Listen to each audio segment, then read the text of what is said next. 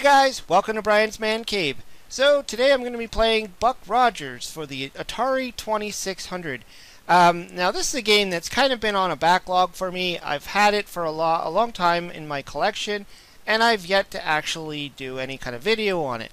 Uh, but uh, one of my, you know, frequent watchers of my show, and also a Patreon patron on my Patreon, asked me if I could do this game because he's a big fan of Buck Rogers.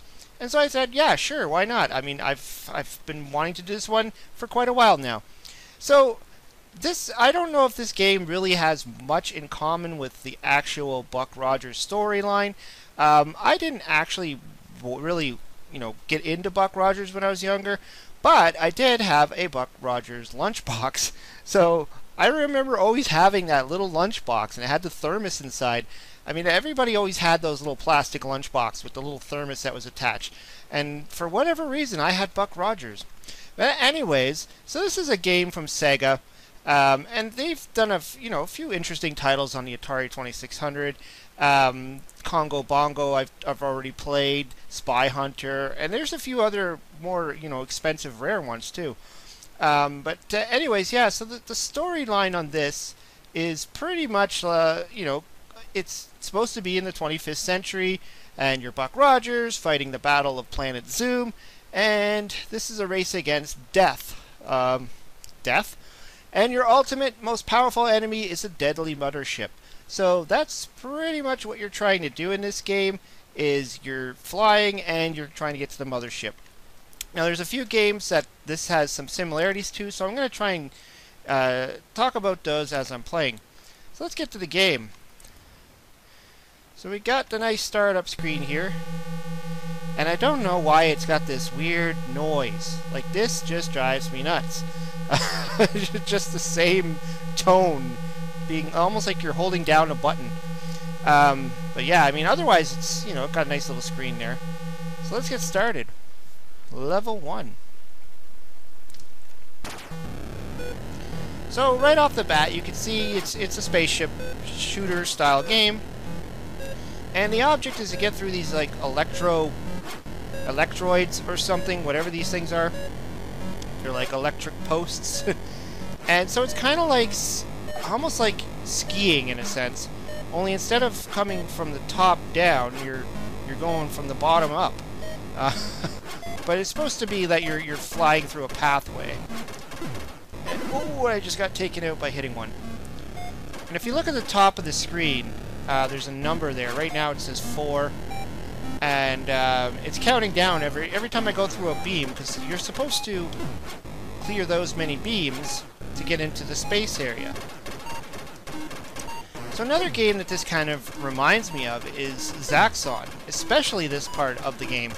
When you um, when you play Zaxxon and you go through that little area, you're shooting all the stuff, and then you get off through the wall. Then you go into space, and you got to shoot the uh, planes that are coming after you. And then, then you go back to the land spot, and so on and so forth, uh, until you hit, well, in this case you're looking for the mothership, but in Zaxxon you're actually trying to get Zaxxon. Um, so there is a lot of similarities there as well. Uh, but in this, you, you do have like that speed element um, and, but there's no um, up and down uh, like in Zaxxon where you can, because you know Zaxxon being, oh, there's a mothership. Oh, in Zaxxon being in the isometric view, uh, you can actually have depth. In this game, they don't give you any depth. You're literally just kind of also like River Raid, where you're kind of only in one space. you don't get to go up and down. And of course, the faster you go, the more points you get, but the more difficult it actually is because you are really, you know, trying to dodge everything. And that's just me getting killed. Let's try that again. I believe I, I read that there's like 16 levels to this. So this is only the first level.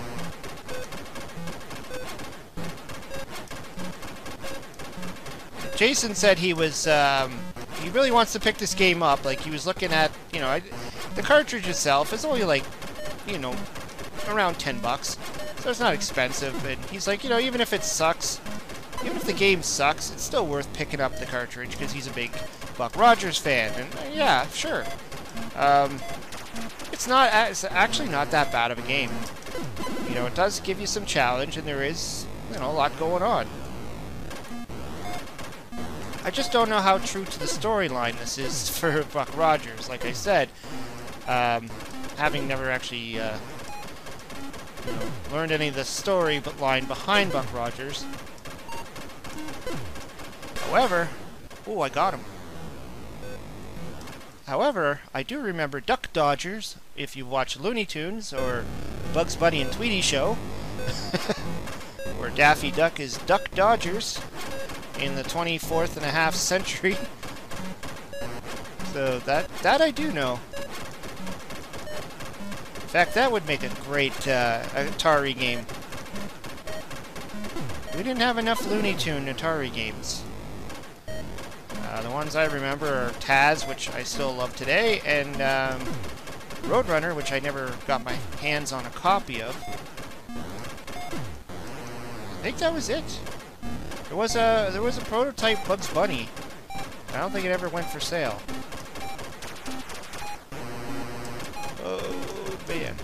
This game is pretty fast and intense. I have to give it that. There is a lot going on.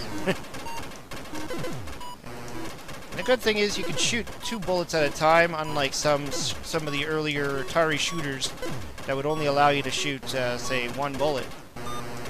And you couldn't shoot again until that bullet either hit a target or left the screen, you know, which which could be annoying. Or sometimes what would happen is the uh, if if you shot a bullet and then uh, shot a second one, it would cancel out the first bullet, which would even be more annoying. So that mothership, you have to destroy two parts of it while it's in the same screen. If it leaves the screen and you didn't blow up both parts, it'll regenerate and come back. So that's what's happening there. so you just hit one side of it, it's going to leave the screen, and it's going to come back with both sides of it again. And I like the color changing aspect of this game too. I like, it's almost like when you play um, like Astro Smash or the Atari version of Astro Blast, where the screen changes color uh, to kind of show your progress.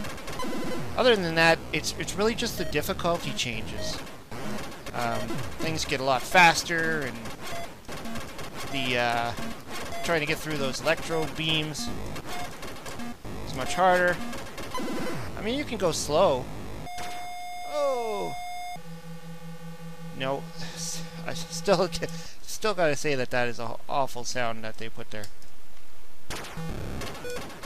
I like the level up thing, or the level 1 thing, how they move it up the screen like that. That's kind of a neat, neat little thing they did. The background is kind of a reminiscence of a Activision style, almost like robot tank in a sense. Speed up. But yeah, there's a lot of games that this just reminds me of, like pole position even in some degree. Uh, you know, where you're speeding up, slowing down, and you're turning uh, with the road essentially. Or um, Beam Rider.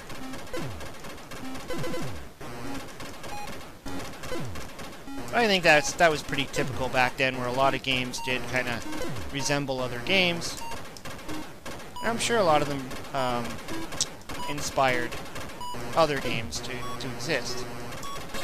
Ooh, got it. Well, the one thing I didn't mention was the uh, the timer you're on. Um, if you look at the, the top there, that green bar that's getting small, it has a little gray bar inside of it. It's like a little meter. When it when it hits the uh, left hand of the side of the screen, uh, you run out of time. So Another reason why it's good to go fast. no! Dang it. Go fast. No, this is not Sonic. But it is made by Sega. I'm just gonna blow up everything that gets in my way. Whoa! You know what they should have said? Uh, a warning in this uh, may cause seizures.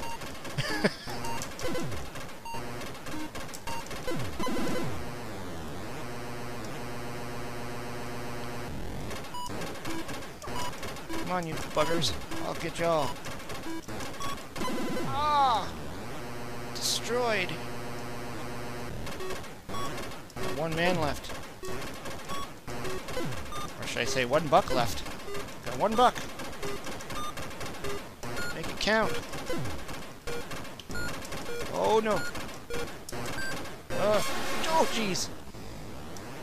Really cool effect that they gave it too. That it's it's uh, going in and out of the screen and getting bigger and smaller to kind of imitate depth in a sense. Ah. But yeah. That's pretty much the game. I mean, uh, it just gets harder and harder from there on in, and uh, just so much crap being thrown at you. Anyways, let me know what you think of Buck Rogers, um, Planet of Zoom. I I wonder if they were planning on doing like a, a, series of these. That's why they just called it that instead of just calling it Buck Rogers. Maybe they were hoping they would be able to make like a sequel or part three or something. Uh, but yeah, this is it's pretty fun. I, I thought it was uh, it's a nice game, and it's a little bit uh, harder to come by. I mean, you can probably find it on eBay and stuff like that, but you don't see them typically in, in your you know your secondhand stores and all that. Uh, and you know unless they they have a lot of rare collectible stuff. Anyways, I hope Jason likes the video. Uh, he's probably going to pick this game up himself. I don't know if he plays Atari on, or if he just wants to buy it just for something fun to have. But uh, yeah, it's pretty cool. Anyways, hope you liked the video. Hope you subscribe. Leave some comments down below. Talk to you later.